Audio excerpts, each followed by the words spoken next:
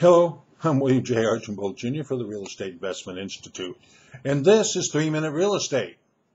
Today's word, extension clause. An extension clause is something written into the purchase agreement for an automatic extension or a pre-negotiated extension under certain circumstances. Sales agreements should generally be limited to the most likely longest okay, period necessary to close the loan. Generally 30 to 45 days, okay, sometimes less. Okay. An extension clause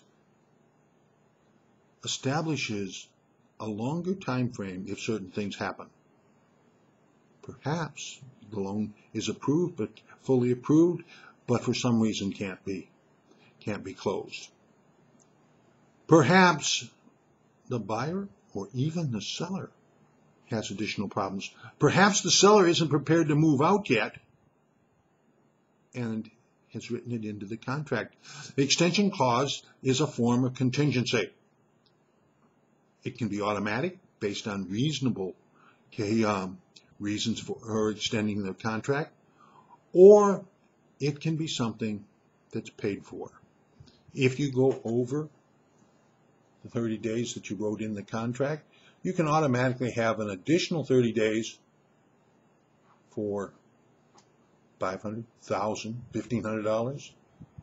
Perhaps if the seller is not prepared to close because they haven't moved out yet, haven't closed on their new property, or their new property isn't built yet, okay, perhaps it's the other way around. And the buyer may want, be willing to grant them the extension clause, but if he's renting a house and he's paying more than his future payments can be, it wouldn't be unreasonable to ask this seller to provide that much. All right, we'll extend the contract automatically, provided that you pay the $500 that it's costing me additionally each month compared to what it would cost me if we lived in the property. This doesn't change. This isn't an option where you're not obligated to buy you are obligated to perform on the contract, but it's a reason for delaying. Most delays are going to be title, okay, in financing problems.